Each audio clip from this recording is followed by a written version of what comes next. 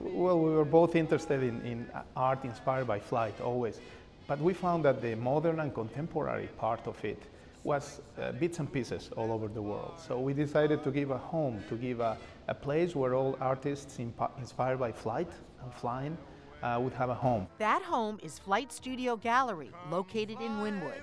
It's the only gallery in the world dedicated exclusively to aviation contemporary art.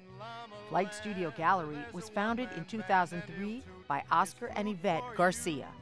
We definitely want to offer them a home and one place where, where all the contemporary aviation art comes together.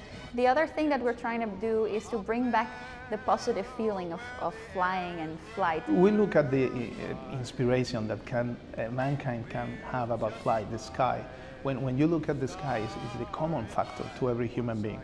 You might or might not have oceans or mountains where you live, but we all have the sky. So some artists look at it and, and feel that there is a common bond to mankind through flight. And, and those are the artists we represent. Flight Studio Gallery has represented a mix of emerging and established artists, including Charles Lindbergh's grandson, Eric Lindbergh, Fer Sukar, Herve Alexander, and Pilot O. I work for Eastern Airlines and also for Pan Am in several other airlines. And um, then I switched to art, which I love.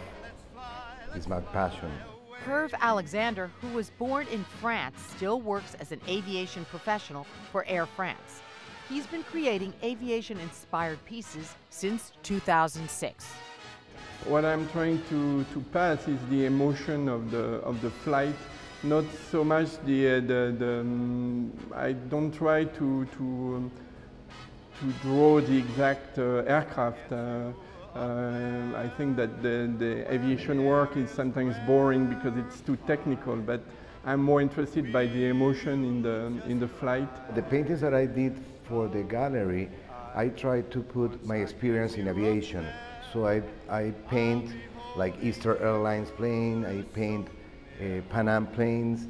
Uh, I live in the Bay of Miami, so I see the the Baywatch helicopter, so I paint the helicopter. My art is a, a lot of colors and uh, it reflects my emotions. I'm very happy. I like to put the colors in my art and make people happy somehow. Oscar and Yvette Garcia both work in the aviation industry, running their own well known consulting business, Interflight Global. Oscar, who's been flying all of his life, flew professionally until seven years ago. Both share a passion for flying and aviation. Yvette has shared that, that, that intrigue, that, that, that mystery of, of flight with me. Uh, we met on an airplane. We met each other flying uh, over Europe on a, on a uh, uh night uh, flying. And from there on, we have developed this, this uh, space together. My love for aviation started a long time ago. I traveled a lot as a little girl. I grew up in Singapore. Actually, I've been on an airplane before I was on a bus in my life. And uh, we used to travel a lot from Singapore, and I always went to see the cockpit, and I always enjoyed flying, the whole experience. This intense enthusiasm for aviation doesn't end with the gallery owners and the artists. The collectors are also hooked on flight. Meet television producer Chris Sloan and aviation lawyer Tim Ravitch. To me, aviation represents um, a time machine. You know, I mean, if you look, it's it. it if you're fascinated just by uh, human beings and history and culture and travel and every business, uh, science, literally every aspect, facet of life can be wrapped up in aviation. You know, what other business, what other industry? You know, when you get on aircraft, you're looking at design, you're looking at culinary, you're looking at defeating the odds, you're looking at history, you're looking at transporting you another place. You're looking at, there's a lot of politics involved. I mean, it's, a, it's something that touches every, almost every aspect of our life. I want all of it.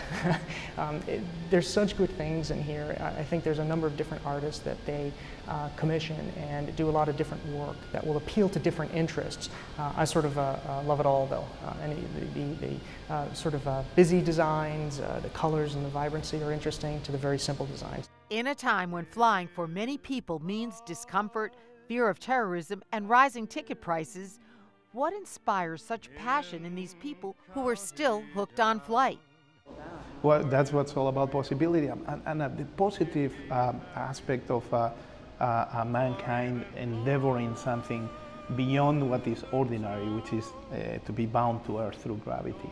Uh, why does mankind want to fly? If we go back thousands of years to the to the to the Inca drawings or to the uh, uh Tibetan uh, sites of the sky, um, that is the beginning. Why has mankind wanted to look up and, and, and, and feel the experience of flight? I think it's because of the positive energy of mankind to, to reach higher and to, to be boundless.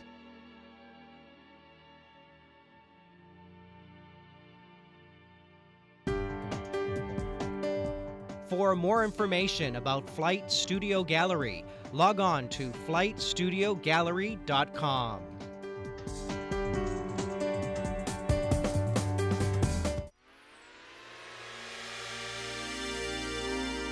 The preceding program was a production of WLRN Public Television.